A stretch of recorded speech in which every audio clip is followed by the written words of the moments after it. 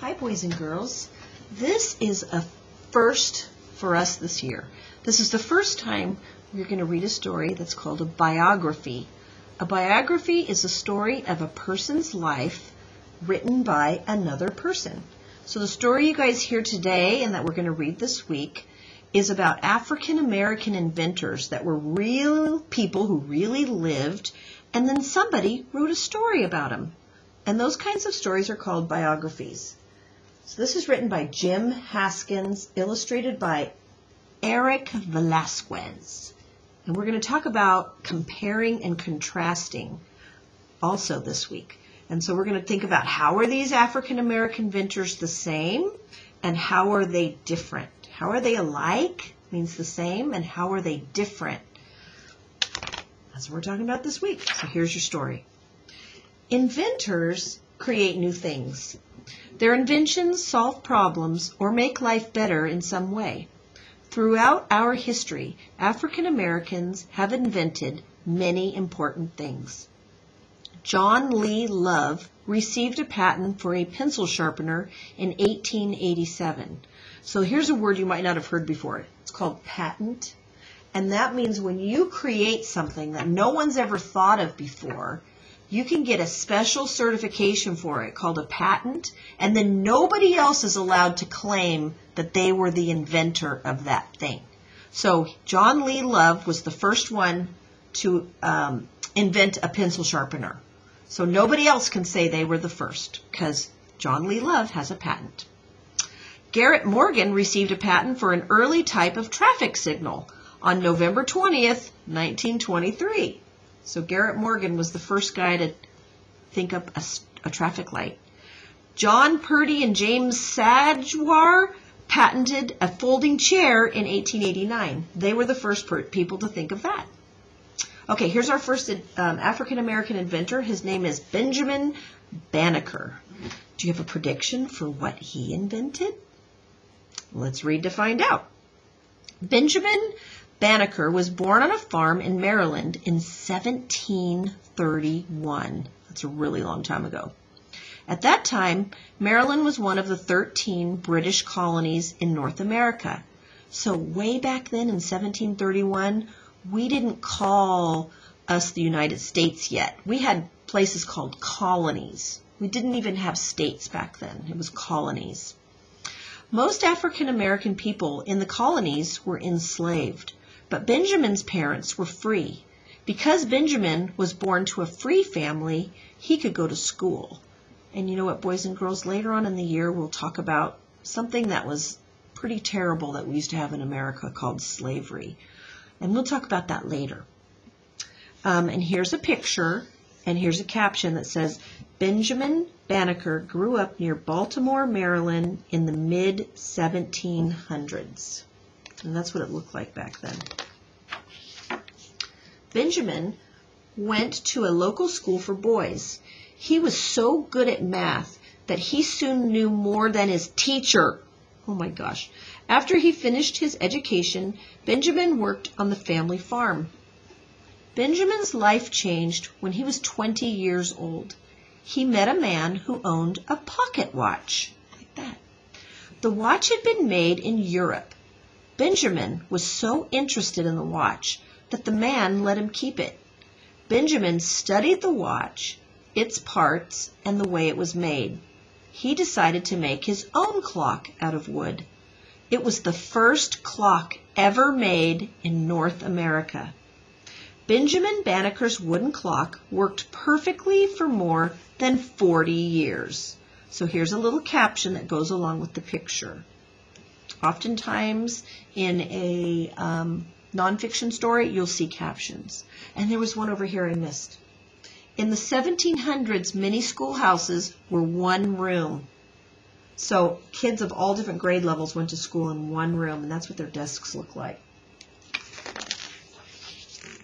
Benjamin used his clock to measure the movements of the stars. He used math to figure out the position of the stars um, to figure out the position of the stars, the sun, the moon, and the planets. Years later, he wrote an almanac. An almanac is a book that lists the position of the sun, moon, and planets for every day of the year. And this was what he published. Benjamin published almanacs from 1792 to 1797. You can do the math on that. From 92 to 97, how many years is that? Benjamin wrote a new almanac every year for six years. People read it to find out when the sun and moon would rise and set. They read it to find out how the weather would change each season. Many farmers used Benjamin's almanacs so they would know when to plant their crops. He was as famous for his almanacs as he was for his clock. And here's another caption. Farming in the 1700s was done by hand. Tractors and other farm machines had not been invented yet. Interesting. Okay, here's another African American inventor her name is Sarah E. Goode. We know quite a bit about Benjamin Banneker. We know very little about Sarah E. Goode. What we do know is that she was the first African American woman to receive a patent for an invention. A patent is a legal paper. It gives it is given out by the United States government in Washington D.C. A person who invents something can get a patent to prove that he or she was the first to have made it. No one else can say they invented the same thing. And here's Sarah Goode. Um, she received her patent in 1885. This is kind of what a patent might look like. Sarah was born in a southern state in 1850. She was born into slavery. When slavery ended, Sarah was a teenager. She was able to go to school once she was free. After she received her education, Sarah moved to Chicago, Illinois. Sarah must have been smart and hardworking. By the time she was 35 years old, she owned her own business. Sarah Goode was the owner of a furniture store. And here's another caption. Sarah Goode owned a furniture store in the 1880s. And here's another caption. In the 1880s and 1890s, many people moved to Chicago to find jobs. And that's a picture of what Chicago looked like back then. Have you been wondering, what is it that she invented? I think we're going to find out. Many African American people were moving from southern states to northern states in the 1870s and 1880s. They moved into apartment houses. Sometimes many people slept in one room. This was because many people did not have enough money to rent their own rooms. Sarah had the idea of making a bed that could fit in a small space. It could fold up during the day and unfold at night. She worked out a design. Then she made a model. So some Chicago apartments in the 1880s look like this, kind of small. Sarah's patent showed the cabinet bed design. Folded up, it looked like a desk. It opened up into a bed. Now that is pretty cool. This is a different kind of folding bed. Different folding bed designs have been made over the years. So here's what you might see now. Sarah called her invention a cabinet bed. When it was folded up, it could be used as a desk. There was even a place for keeping pens and paper. Sarah did not want anyone else to copy her invention. She made sure of that by getting a patent. We do not know how many cabinet beds Sarah made. We do know that her idea is still helpful for people. Folding beds are still in use today. And right here it says compare and contrast. So think about this. How are Benjamin Banneker's and Sarah Goode's inventions compare them? Were they both helpful? How were they alike? How were they different? How did they help people? Okay, here's the next African American inventor. His name was George Washington Carver. George Washington Carver was born in Missouri in 1861. Like Sarah E. Goode, he was born into slavery. His family was enslaved by a couple named Carver. George was raised by Mr. and Mrs. Carver. George loved the Carver farm with all of its plants and animals. He planted his own garden. Soon he knew so much about plants that people called him the plant doctor. And this is a typical painting of a excuse me, this is a painting of a typical farm in the 1870s. So that might be what his farm looked like where he lived. And here's another caption George Washington Carver at school. And then this is the real George Washington Carver when he graduated from college in 1894. George wanted to go to school to learn more about plants. Slavery was over, so he was free to leave the Carver farm. It took him 20 years to get enough education to save money, save enough money to enter college. George went to college in Iowa. He was the first African American student at the school. He studied farming and learned even more about plants. When he graduated, he became a teacher. George taught at Tus- Tuskegee Tuskegee Institute in Alabama. It was a college for African American people. He studied plants at the college. George told farmers that peanuts and sweet potatoes were good crops to grow. He found that he could make 118 different products from the sweet potato. These included soap, coffee, and glue. So this is a sweet potato right here. And he figured out how to make 118 different things from a sweet potato. George taught at his college in Alabama. There he is. George told farmers which vegetables were useful crops to grow. That's another caption. George learned that he could do even more with peanuts. He made over 300 different products from peanuts. Some of these were peanut butter, ice cream, paper, ink, shaving cream, and shampoo. Did you know you could get shaving cream and shampoo from peanuts? Oh my gosh.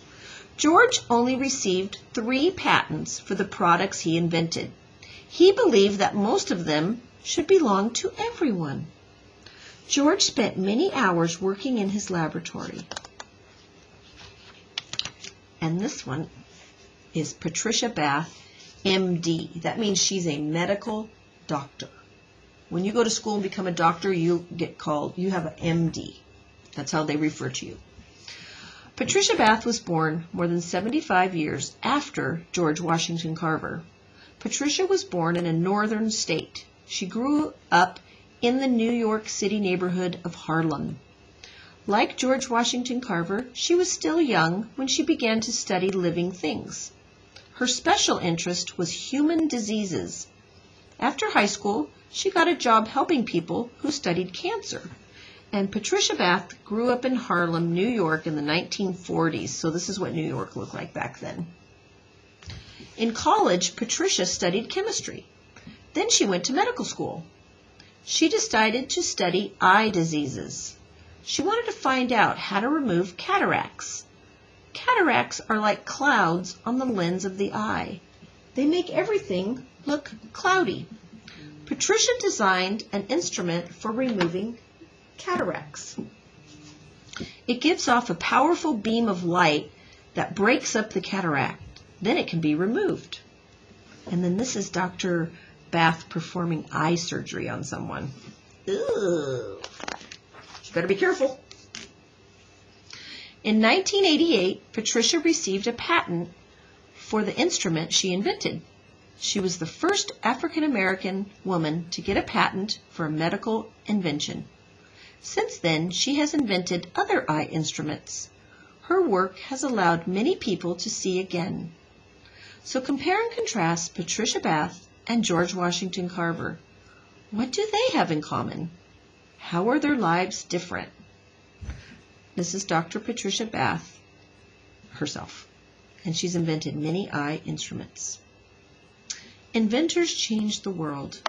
The stories of these four inventors show how African American inventors have helped make life better for all Americans throughout history.